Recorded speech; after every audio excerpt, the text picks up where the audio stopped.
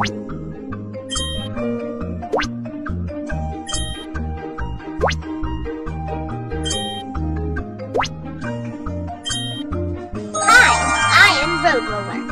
am good at flattening road.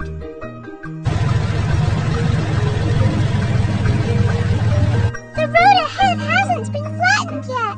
Do you, engineering fleet, can you help me? No problem. Leave it to me.